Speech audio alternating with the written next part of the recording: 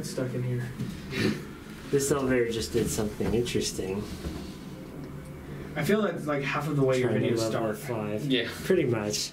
Yeah, it's in the middle of a video already.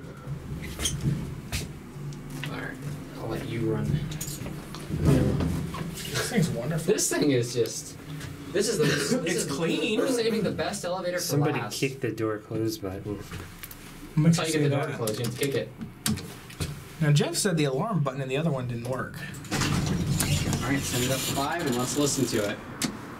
There's the pay kiosk over there. Door closed does not work. There we go. Is there room back here? Here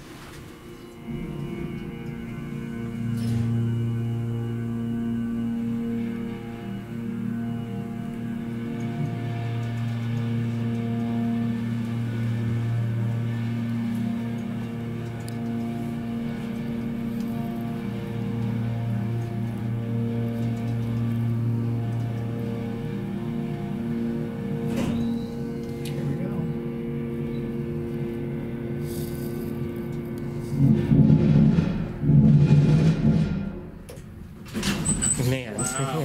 It's low on oil. Are we end at one? Yep. Oh yeah, we'll end It at the one. bottom. So Yeah, somebody did kick that. You're right. we'll end at one. I suppose I shouldn't question your judgment. you can question my gut judgment. Nothing wrong with doing that. This was quite the adventure in this little garage. Yeah, I was being told I couldn't film at the Waterside. We got your video though. I did. That's all that matters. We got kicked out of a place in uh, St. Paul. Remember? Yeah. You can't take photos for free. yeah. For free. Oh look, these are all Feel like I'm Anderson gonna pay y'all Heralds. take a Picture, Picture of of the the elevator. elevator? Even though you're probably gonna make quite a bit of ad revenue off of it. This thing's weird. Oh, you're doing. You're doing that. All right.